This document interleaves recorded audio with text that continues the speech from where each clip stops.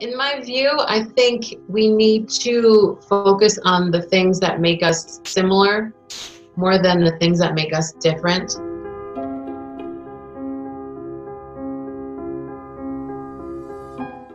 So I am Elizabeth Zunon. I am a children's book illustrator and author.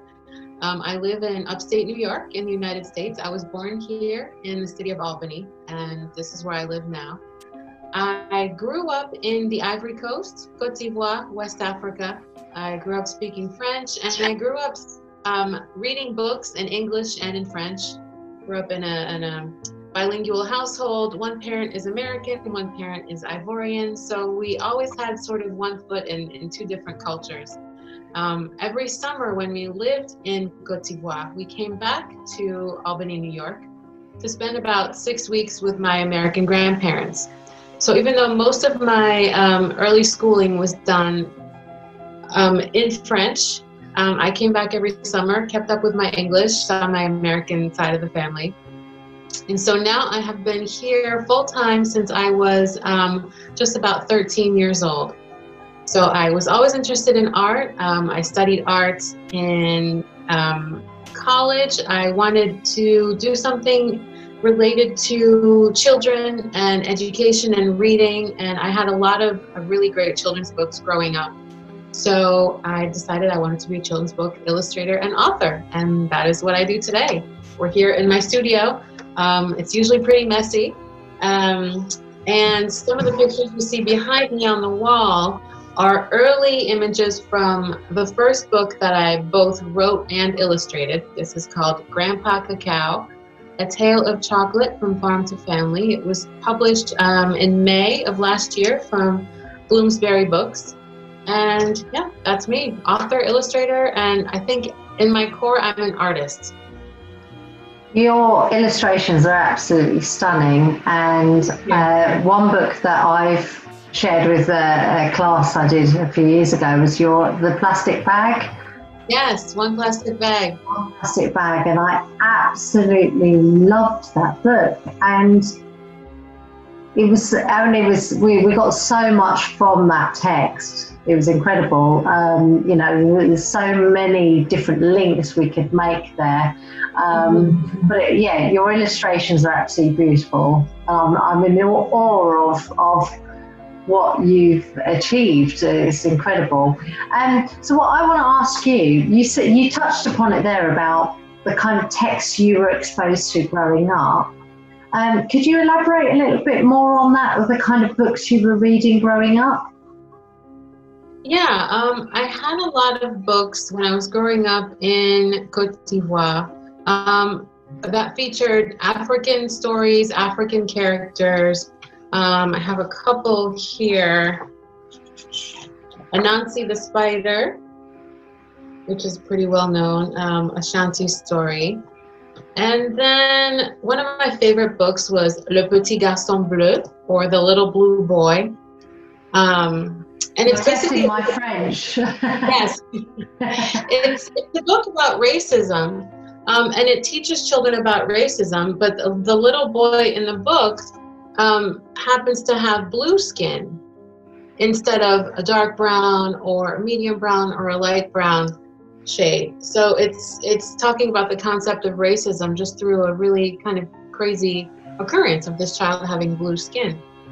Um, and then one of my other favorite books is oh I realized this book I, I have it in English here, but I think I also have it in French called The Smile Stealer.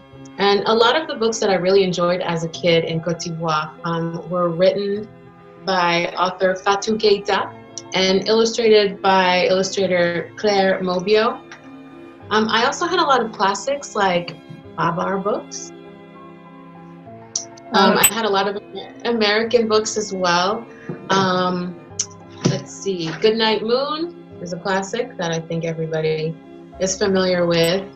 Um, and oh, my favorite book, I think, when I was young, or the book that I point to today as kind of turning on this interest in stories with diverse characters, is The Snowy Day by Ezra Jack Keats, author and illustrator.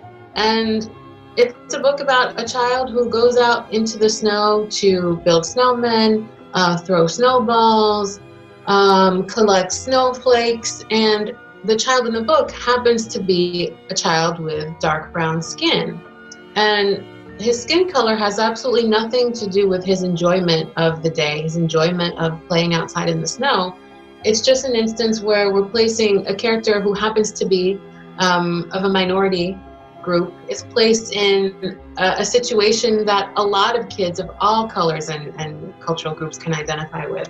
So I really gravitated toward books with characters that look like me. Um, yeah, I have some books with animals as well as as main characters, but usually I gravitate towards books where either the character has similar um, features to myself or has similar interests to myself. This book, Cherries and Cherry Pits, written and illustrated by Vera B. Williams, is about um, a little girl who is an artist and she has all these beautiful markers. And with her markers, she goes around and she draws pictures of her friends, her family members, her neighborhood. So I really loved books where I had something in common with the character, whether they looked like me or not. But I think I usually gravitated towards books where um, the character on the cover had brown skin. And, and so that when that brings me nicely on to my next question, Elizabeth. In England and America, you know, there may be some differences, but ultimately we're all trying to bring about a common goal and a common change. What would you say is really, really important globally? What needs to happen within education in terms of trying to promote that equality? Um, that's a great question, and I don't have a specific answer or all the answers, but in my view, I think we need to focus on the things that make us similar more than the things that make us different. Um, here in the United States, we have something called Black History Month. Yes. In the month. Yeah. Yes. So in the month of February every year, there's a focusing in the curriculum on well-known, usually African American uh, figures in history.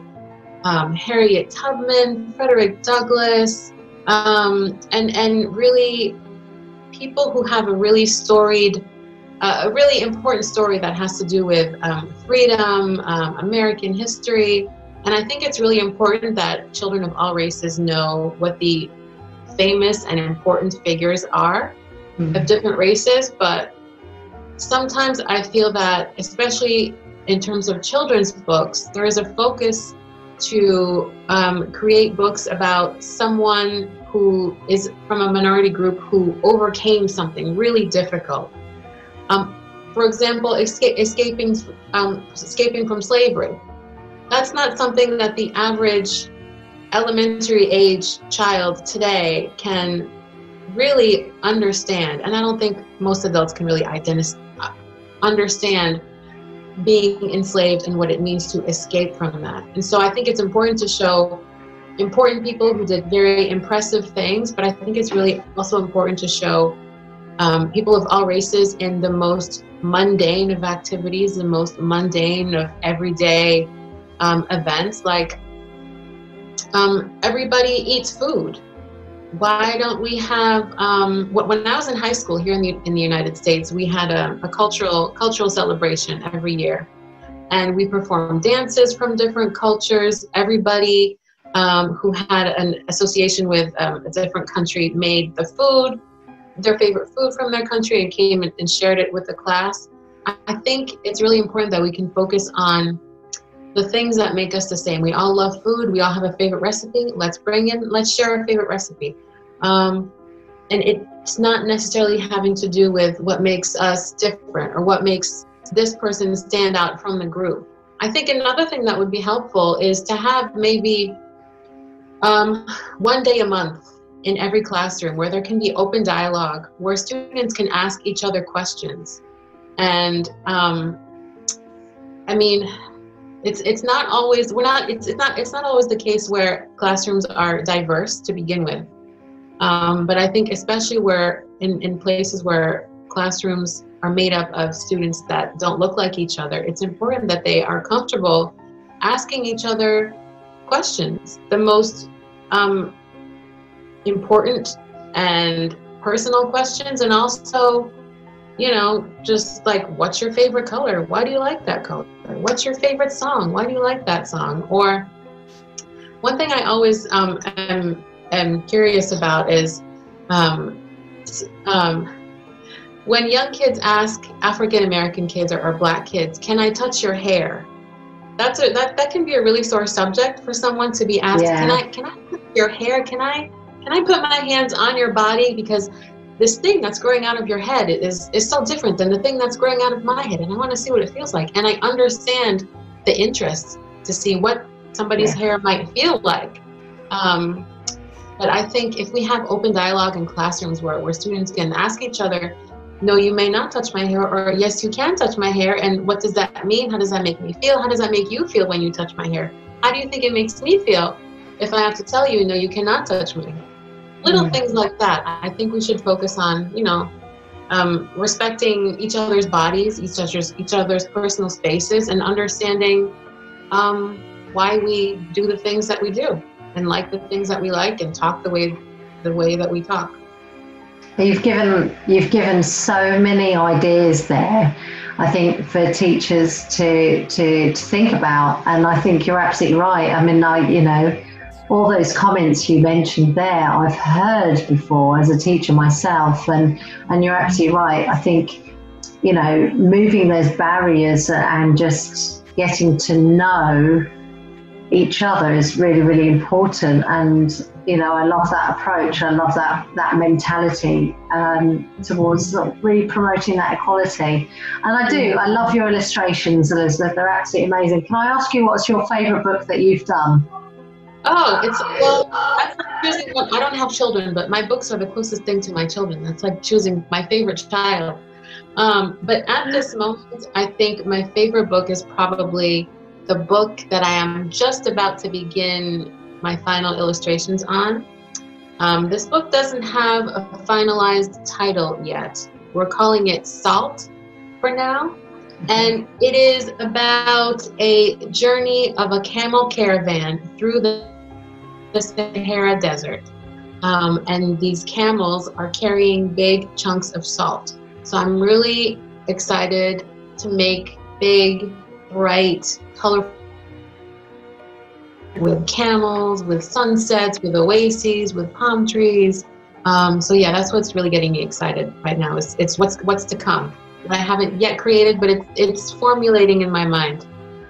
Thank you for watching. I hope you found it enjoyable and useful. In the comment box below, please put a question or a comment about the video. To grow our community more and help other teachers out there, please subscribe to the channel and share our posts and videos. Thank you.